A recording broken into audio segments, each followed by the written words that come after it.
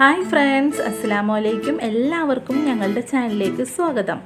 ഇന്ന് നമുക്ക് ഒരു മസാലപ്പൊട്ട് തയ്യാറാക്കും. നല്ല ടേസ്റ്റാണ്. അപ്പോൾ ഇത് വളരെ ഈസിയുമാണ് തയ്യാറാക്കാനായിട്ട്. അപ്പോൾ അതിനു മുമ്പായിട്ട് ചാനൽ ഇനിയും സബ്സ്ക്രൈബ് ചെയ്യാത്തവരുണ്ടെങ്കിൽ ദയവായിട്ടൊന്ന് സബ്സ്ക്രൈബ് ചെയ്യണം. നിങ്ങളെല്ലാവരും ഒന്ന് സപ്പോർട്ട് ചെയ്യണം.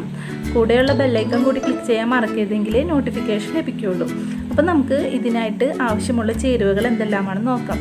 നമുക്ക് ഇതിലോട്ട് ഒരു അഞ്ഞൂറ് ഗ്രാം ചിക്കൻ ബോൺലെസ് ചിക്കനാണ് എടുത്തിരിക്കുന്നത്.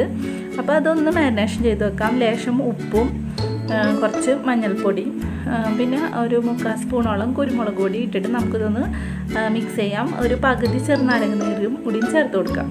അപ്പം നല്ലപോലെ ഒന്ന് മിക്സ് ചെയ്തിട്ട് നമുക്കിതൊരു പത്ത് പതിനഞ്ച് മിനിറ്റ് ഒന്ന് റെസ്റ്റ് ചെയ്യാൻ വെച്ചാൽ മതി. ഇനി നമുക്കിതൊന്ന് ഫ്രൈ ചെയ്തെടുക്കാം. അപ്പോൾ ഞാൻ അതിനായിട്ട് വെളിച്ചെണ്ണയാണ് ചേർത്ത് കൊടുക്കുന്നത്. രണ്ട് സൈഡും നല്ലപോലെ വെന്ത് ഒന്ന് മുരിഞ്ഞ് വെന്ത് നമുക്ക് ഫ്രൈ ചെയ്ത് ഇതുപോലെ ഒന്ന് ഫ്രൈ ചെയ്തെടുക്കാം. അപ്പോൾ ആ വെളിച്ചെണ്ണയിലേക്ക് തന്നെ മൂന്ന് സവാളയാണ് ഞാൻ എടുത്ത് വെച്ചിരിക്കുന്നത്. അത് നമുക്കൊന്ന് വഴറ്റിയെടുക്കാം പെട്ടെന്ന് വഴന്നിട്ടാൻ വേണ്ടി ലേശം ഉപ്പ് ചേർത്തിട്ടുണ്ട്. അപ്പോൾ ഒന്ന് ഇത് ഇത്രയും വാടിക്കഴിഞ്ഞാൽ ഇഞ്ചി പച്ചമുളക് വെളുത്തുള്ളി ചതച്ച് ചേർത്ത് കൊടുക്കാം. ഇതിപ്പോൾ എല്ലാം കൂടി ഒരു മൂന്ന് സ്പൂണോളം ഉണ്ട് ഒരു നാല് പച്ചമുളക് ഒരു ചെറിയ കഷ്ണം ഇഞ്ചിയും ഒരു അഞ്ചാറ് അല്ലി വെളുത്തുള്ളിയും കൂടി ചതച്ചതാണ്. അപ്പോൾ ഇത് നല്ല പോലെ ഒന്ന് വാടി വരട്ടെ. നല്ല പോലെ നമുക്ക് ആ മസാലയുടെ മണമൊക്കെ മാറി നല്ലൊരു മണമാവണവരെയും വയറ്റിക്കൊണ്ടിരിക്കാം.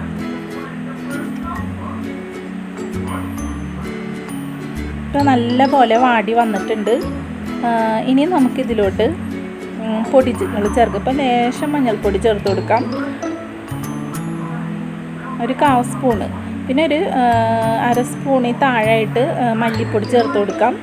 ഒരു അര സ്പൂണ് കാശ്മീരി ചില്ലി പൗഡറാണ് ചേർത്തേക്കണത്. ഇതൊരു കളറിന് വേണ്ടിയിട്ടാണ് ചേർക്കണത്. പിന്നെ നമുക്കൊരു അര സ്പൂണ് ഗരം മസാല പൊടിയും കൂടി ചേർത്ത് കൊടുക്കാം. ഇത്രയും മസാലകൾ മതി. ഇത് നല്ല പോലെ നമുക്കൊന്ന് വഴറ്റിയെടുക്കാം ആ മസാല നല്ലപോലെ സവാളുടെ കൂടി ഇപ്പോൾ നല്ല പോലെ ഒന്ന് വഴന്ന് വന്നിട്ടുണ്ട്. അപ്പോൾ ഇനി നമുക്കിതിലോട്ട് ഒരു ചെറിയ തക്കാളി ഇതുപോലെ കട്ട് ചെയ്തതും കൂടി ഒന്ന് ചേർത്ത് കൊടുത്ത് നല്ല പോലെ മാറ്റിയെടുക്കാം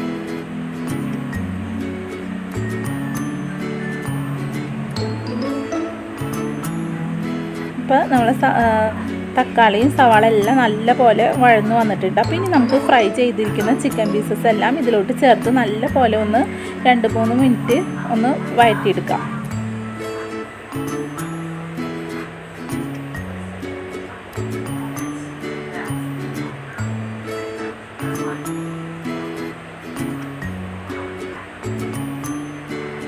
ഇപ്പോൾ രണ്ട് മൂന്ന് മിനിറ്റ് നല്ല പോലെ വഴറ്റിയെടുക്കാം. നമുക്ക് ലേശം ഇതിലേക്ക് മല്ലിച്ചപ്പും പൊതിനും കൂടി ചേർത്ത് കൊടുക്കാം.